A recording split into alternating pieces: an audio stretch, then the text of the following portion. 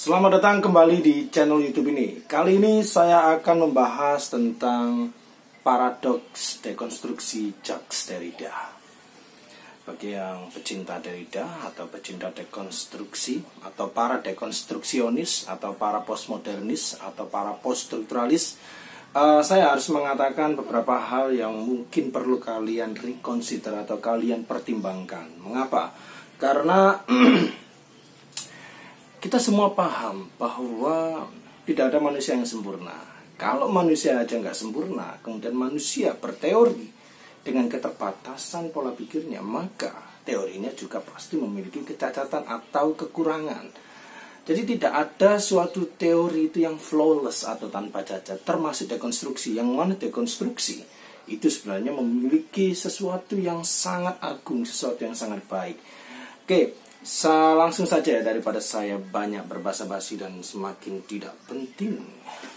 Oke, yang pertama kita harus tahu dulu Derrida itu membahas dekonstruksi itu bukan as, bukan tiba-tiba dia bangun tidur mendapatkan wahyu, wah, kemudian tiba-tiba berpikir mengenai dekonstruksi, menulis buku tentang of grammatologi diterjemahkan oleh Gayatri Chakravorty Spiva, nggak kayak gitu konsepnya kita harus tahu bahwa setiap teori itu mau nggak mau itu selalu ada relevansinya dengan pengalaman hidup. Derrida adalah seorang imigran Aljazair yang tinggal di Prancis. Seorang Yahudi yang tinggal di Prancis. Artinya dari sini kita pasti paham kalau Derrida itu adalah seorang minoritas di Prancis dan secara sosial karena dia minoritas termarginalisasi atau teralienasi maka secara tidak langsung juga itu sangat mempengaruhi gaya berpikirnya Derrida.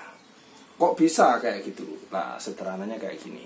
Kita harus paham dulu, Derrida itu kuliahnya dulu di mana? Atau prodinya itu apalah, program studi. Kayak di Indonesia aja. Jurusannya itu apalah, filsafat kan. Tapi filsafat yang dia jadikan konsentrasinya itu adalah filsafat etika. Makanya dia belajar uh, filsafat itu banyak terpengaruhi oleh Immanuel Levinas yang belum tahu tentang Immanuel Levinas, uh, saya sudah pernah membuat videonya itu. Kalian scroll aja di playlist di bagian filsafat itu. Saya sudah pernah membahas tentang Levinas mengenai wajah dan juga diader. Oke, wajah dan juga diader ini lah yang nanti akan sangat mempengaruhi Derrida. Oke, Derrida itu filsafat etika. Lantas kenapa kok teori yang paling terkenal itu bukan tentang etika? tapi mengenai dekonstruksi yang mana dekonstruksi itu uh, dipahami oleh sebagian orang orang yang pemikirannya masih terlalu dangkal itu sebagai suatu teori radikal suatu pola atau suatu gaya berpikir yang menawarkan suatu bentuk subversif atau perlawanan atau resistensi terhadap pola umum atau gagasan umum ya memang ada hal semacam itunya. Tapi bukan berarti uh, serta merta Derrida mencoba untuk menolak segala kebenaran tunggal, menolak segala keutuhan atau totalitas yang kita pikirkan. Misalnya Anda uh, biasanya orang mengatakan ini salah, kemudian Anda menganggap itu benar, dan kemudian Anda membenarkan uh, apa yang dianggap orang lain itu salah, dan Anda bersikap uh, seenaknya sendiri dan lain sebagainya. Nggak kayak gitu. Dekonstruksi itu endingnya atau substansi utamanya atau ontologinya itu adalah etika. Kok bisa etika? Karena dekonstruksi itu dibuat dari sebagai dasar untuk menyetarakan atau meniadakan batas antara other dan juga self, batas antara yang lain dengan uh, dengan uh, dengan center, batas antara yang periperi atau marginal dengan yang pusat. Artinya, ketika tidak ada batas antara yang lain dan diri kita, antara yang lain dan kita, antara timur dan barat, antara hitam dan putih, maka hitam dan putih tidak akan tersusun secara hierarkis untuk menunjukkan siapa yang lebih benar atau siapa yang lebih tinggi atau siapa yang lebih agung. Itu tujuan utama dari dekonstruksi. Mengapa Derrida susah-susah membahas mengenai dekonstruksi itu? Pertama, karena pengalaman dia sebagai orang yang marginal, kemudian dia uh, secara tidak langsung, secara tak sadar itu mencoba untuk membongkar mengapa orang ada orang-orang atau ada kelompok orang termarginal dan dia berangkat dari uh, fenomenologi Husserl dan sewaktu dia menulis disertasi mengenai fenomenologi Husserl dan dari Husserl itu dia mengkritisi uh, Saussure tentang strukturalisme. Kenapa? Mungkin menurut saya secara pribadi ya, uh, karena dari bahasa itu kita bisa membongkar struktur psikologi atau struktur ketaksadaran orang.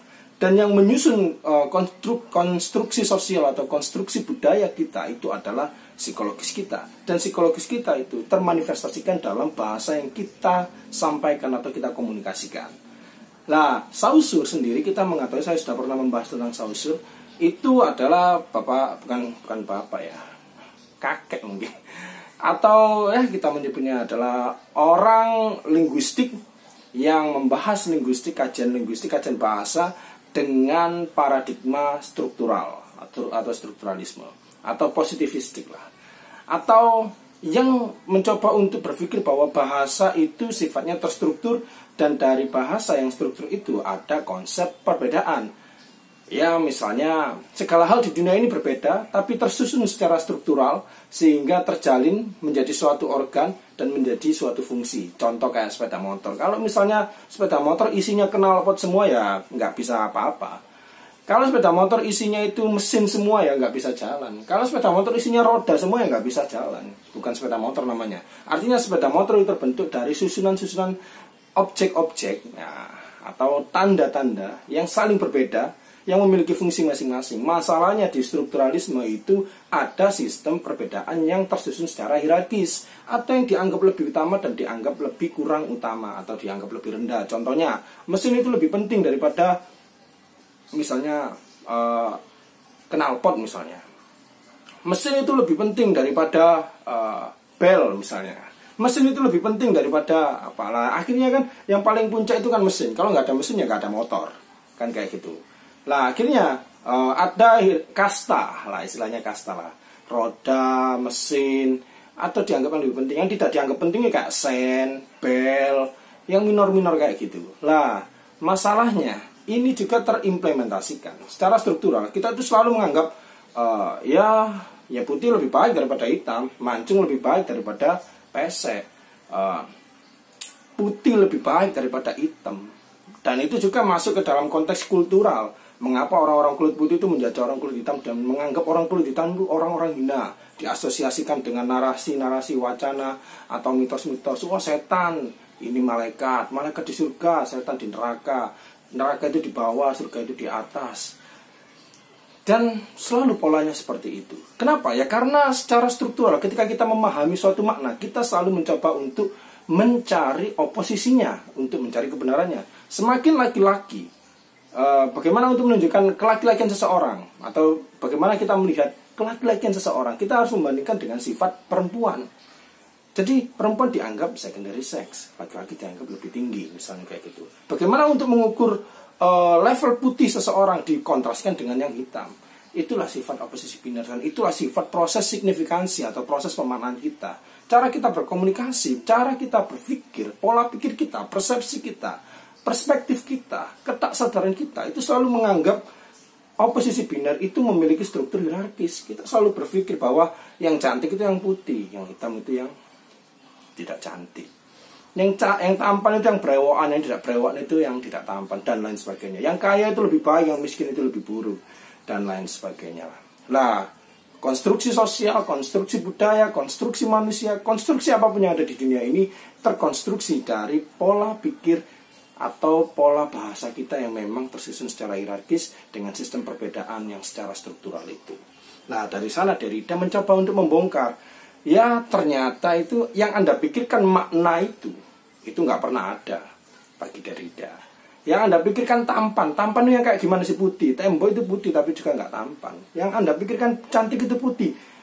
Uh, cat warna putih juga putih tapi ternyata nggak cantik jadi tidak ada makna yang hadir secara total dengan cara mengkontraskan kayak gitu. Karena apa? Yang hitam ternyata juga ada yang cantik. Yang keriting ternyata juga ada yang cantik. Yang putih juga ada yang jelek. Jadi di dalam suatu totalitas makna selalu ada paradoksnya. Lah, nanti paradoks ini yang akan menjadi paradoks dari topik pembahasan saya saat ini. Nah, inti utama dari pemikiran dari dari sana itu adalah bagaimana kalau kita itu berpikir perbedaan itu tidak tersusun secara hierarkis tapi secara horizontal. Dosen ada ya karena ada mahasiswa, bukan berarti dosen itu lebih tinggi daripada mahasiswa. Bayangkan kalau Anda itu dosen, kemudian Anda di kampus dan nggak pernah ada mahasiswa. Apa Anda menjadi dosen? Ya enggak kan. Orang kaya itu ada karena ada orang miskin.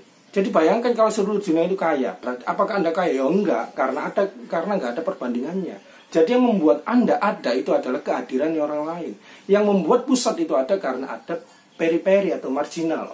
Yang membuat uh, atau self itu ada karena ada the other. Jadi kehadiran the other itu penting. The other itu menentukan eksistensi kita, presensi kita. Itu inti utama dari pemikiran Derrida.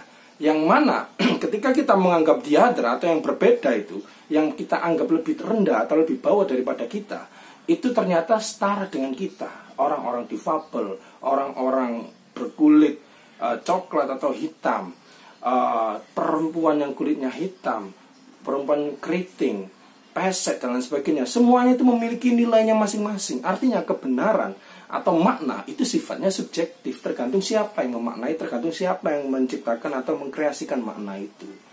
Lah, akhirnya dengan pola dekonstruksi ini, budaya postmodern, urban culture, di mana semua orang itu menciptakan kreasinya masing-masing, tidak ada standar kebenaran Ketika semua orang mencoba untuk mengkreasikan kebenarannya masing-masing dan itu terakomodasi oleh sosial media. Dan sosial media itu merupakan uh, manifestasi dari bagaimana budaya postmodern atau urban culture atau apa pun lah yang sifatnya subjektivitas itu terjadi. Cewek meskipun nggak mancung dia tetap pede karena dia ingin menciptakan nilai kecantikan dengan kepeseannya. Cewek misalnya uh, gendut misalnya nggak masalah menampilkan kecantikan versi gendutnya. Karena cantik itu nggak harus kurus cantik nggak harus putih.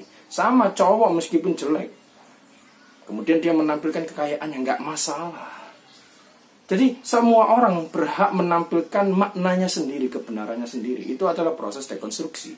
Lantas apa paradoksnya? Saya akan membahas di video berikutnya. Karena waktunya sangat terbatas. Thanks for watching.